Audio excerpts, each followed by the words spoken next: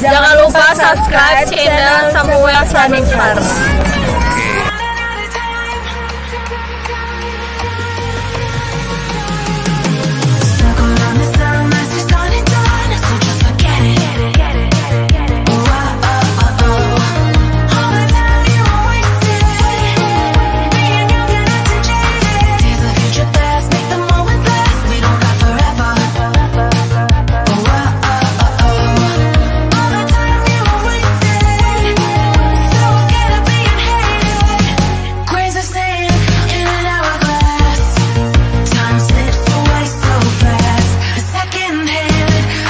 swear.